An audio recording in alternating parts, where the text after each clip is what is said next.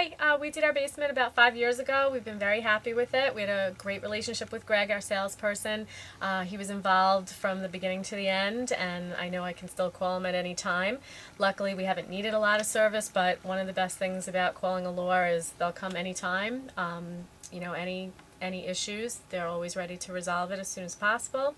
Um, when we first did the basement, we wanted a playroom for the kids, and although they still come down here, they're older now. So I would say probably the main purpose now is a guest room.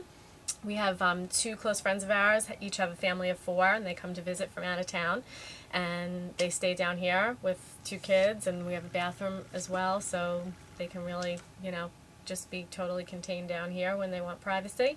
And, um, you know, we enjoy it for TV and exercise, and, you know, it always looks neat and clean, and it has definitely held up well.